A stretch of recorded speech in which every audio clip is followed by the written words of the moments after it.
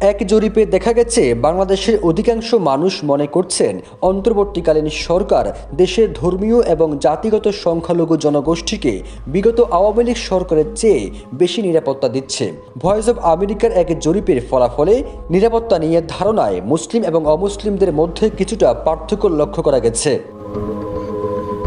October মাসের শেষের দিকে এই জরিপে দেখা গেছে, চৌষট্টি দশমিক এক শতাংশ মানুষ মনে করেন আওয়ামী লীগ সরকারের আমলের তুলনায় অন্তর্বর্তীকালীন সরকার ধর্মীয় এবং জাতিগত সংখ্যালঘু জনগোষ্ঠীকে বেশি নিরাপত্তা দিচ্ছে।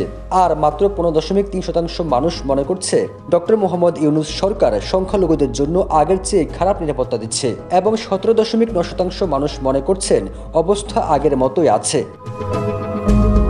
জরিপে এক হাজার ব্যক্তিকে বর্তমান অন্তর্বর্তীকালীন সরকারের আমলের সাথে সাবেক প্রধানমন্ত্রী শেখ হাসিনার শাসনের সাথে তুলনা করতে বলা হয়। বাংলাদেশের জনগণের সাথে সামঞ্জস্য রেখে জরিপে এক হাজার ব্যক্তিকে বাছাই করা হয়। সেখানে সমান সংখ্যায় নারী এবং পুরুষ ছিলেন। যাদের মধ্যে বিরানব্বই দশমিক সাত শতাংশ ছিল মুসলিম।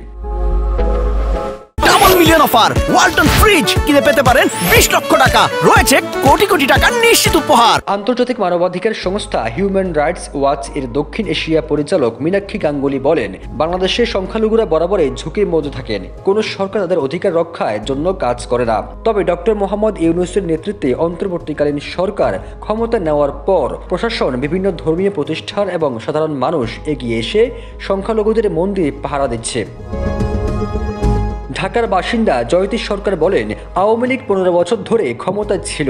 তাদের নেতাকর্মীদের ছত্র ছায়ায় লোকজন হিন্দু সম্প্রদায়ের জমি অল্প দামে কিনেছে এবং তাদের বিক্রি করতে বাধ্য করেছে। এরা এখন আর নেই, তাই একটা স্বস্তি বিরাজ করছে। ঢাকার বাসিন্দা এবং বেসরকারি সংস্থায় প্রোগ্রাম কোঅর্ডিনেটর হিসেবে কর্মরত হিরেন পণ্ডিত মনে করছেন, সম্প্রতি গ্রামগঞ্জে সেনাবাহিনী মোতায়েনের ফলে সংখ্যালঘুদের নিরাপত্তা আগস্ট সেপ্টেম্বরের চেয়ে ভালো হয়েছে, তবে তিনিও শঙ্কার মধ্যে আছেন।